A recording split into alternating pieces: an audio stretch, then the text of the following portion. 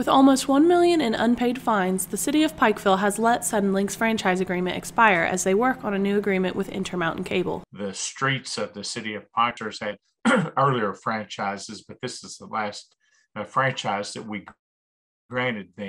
Off and on over the years, we have some technical problems with Suddenlink, and it, usually the city finds out about that because we get uh, customer complaints called into the city. In March of 2020, the city surveyed Suddenlink customers and found many had poor customer relationships, poor quality of service, and issues getting timely service. Uh, interesting enough, Suddenlink didn't present any uh, evidence at this hearing um, for, for whatever reasons. Um, really, since that time, um, uh, nothing really has been done or done, at least as far as Suddenlink has notified the city that they have uh, corrected any of these violations. At Pikeville Medical Center, we believe that together we can make a difference in the fight against cancer. We are proud to have patients who have experienced successful outcomes over many years.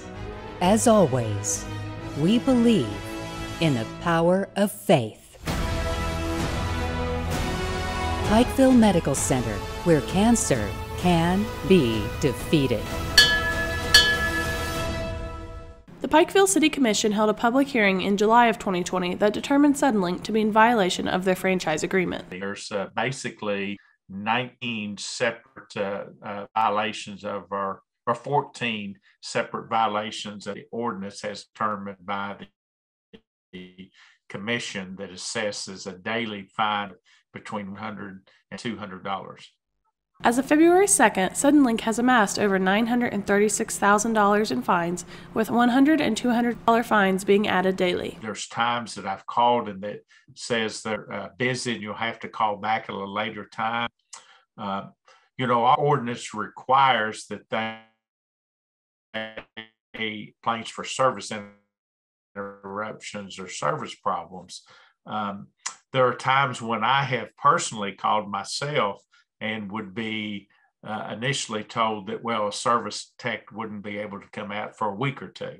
And that's just not compliant with our ordinance if they're supposed to address that. As the city let their contract with Suddenlink expire, they have signed a contract with Intermountain Cable to build high speed fiber optic cable networks within the city. For Mountaintop News, I'm Brianna Robinson.